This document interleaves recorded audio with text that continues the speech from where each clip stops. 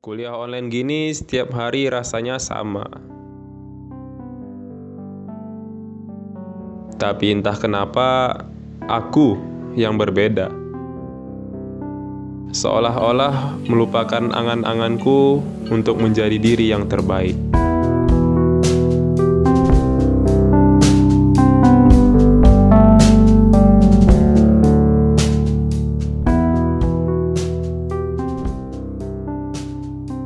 Tahu-tahu udah Maret lagi.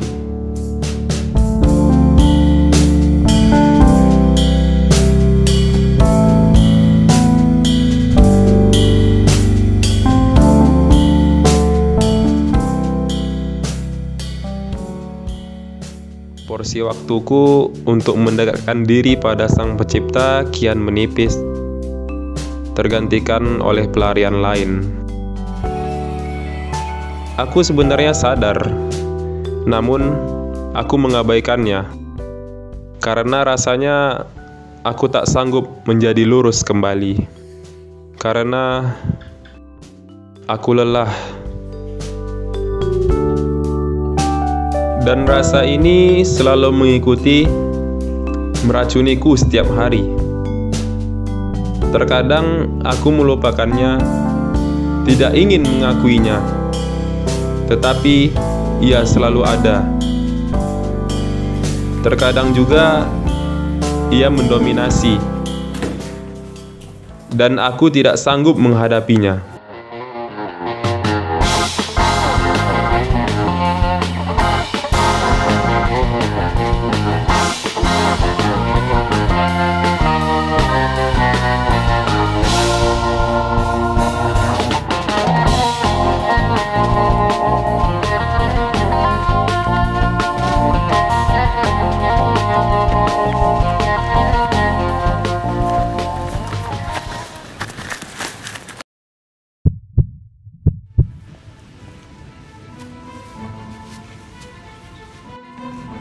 Tapi ternyata masih ada harapan.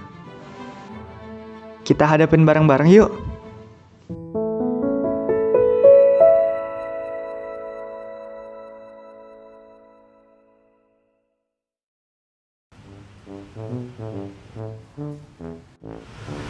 Lagi corona cuy, social distancing.